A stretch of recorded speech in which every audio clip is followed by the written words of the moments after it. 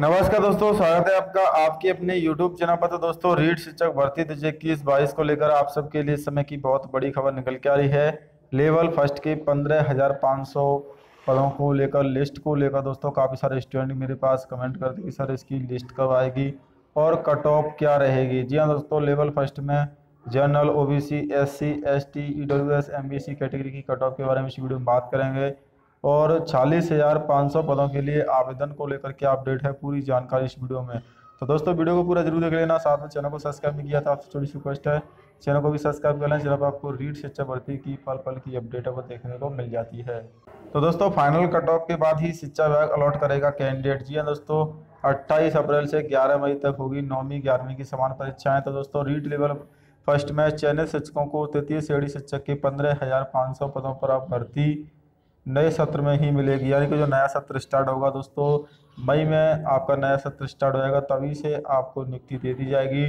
डेढ़ महीने का समय अभी इसमें और लगेगा दोस्तों, और जो लिस्ट है वो 10 अप्रैल तक जारी होने वाली है। जी हाँ दोस्तों 10 अप्रैल तक लिस्ट जारी हो जाएगी, और इस लिस्ट में पंद्रह हज़ार पाँच सौ छात्रों को नियुक्ति मिलेगी। एक गुना कट ऑफ़ यहाँ पर जारी की जाएगी। अगर बात करूँ दोस्तों, यहाँ पर जनरल कैटेगरी में तो कट ऑफ़ एक सौ छत्तीस, एक सौ सैंतीस के मध्य में रहेगी और ओबीसी कैटेगरी की जो कट ऑफ़ जाएगी दोस्तों, वो एक सौ चौंतीस के मध्य जाएगी। एससी कैटेगरी की जो कट ऑफ़ है, वो आपको लगभग एक सौ अट्ठाईस के आसपास देखने को मिलेगी और एसटी कैटेगरी में जो कट ऑफ़ एक सौ बीस तक कट ऑफ़ जाएगी, इतने नंबर वाले छात्रों को फाइनल सिलेक्शन मिल जाएगा। बात करूँ दोस्तों थर्ड ग्रेड के बाद आपकी जो नई भर्ती होनी है, उस पर भी संकट है कि बादल बढ़ा रहे हैं। क्योंकि दोस्तों, अभी फॉर्म नहीं चालू हुए हैं, इससे स्टूडेंट कन्फ्यूज़ है क्या जुलाई में एग्ज़ाम हो पाएगी। क्योंकि अभी ऑनलाइन आवेदन ही चालू नहीं किए गए। हालाँकि अपडेट यह कि कल से आपके ऑनलाइन आवेदन चालू हो सकते हैं। ग्रेड थर्ड टीचर भर्ती के लिए टॉपिक वाइज सिलेबस जारी करने की भी मांग है। अपडेट यार कि जो दूसरा पेपर होगा दोस्तों, वो 18 अक्टूबर को जो है बोर्ड है, वो आयोजित करवाएगा।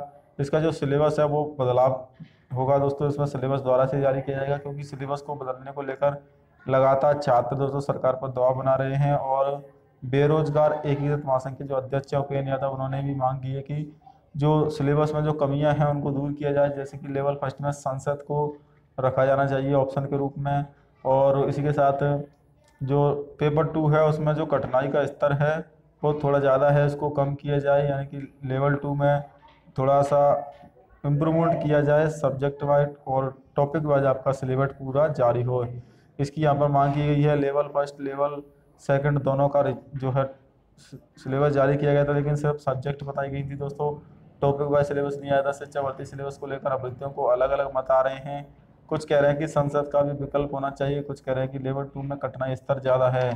तो इसमें टॉपिक वाइज सिलेबस जारी करने को लेकर दोस्तों, कल एक बार फिर से बैठक होने वाली है, और कल ही आपकी एग्ज़ाम डेट और विज्ञापन यानी कि नोटिफिकेशन जारी हो जाएगा। कल से ही आपके रात्रि बारह बजे से फॉरम भी चालू हो जाएँगे।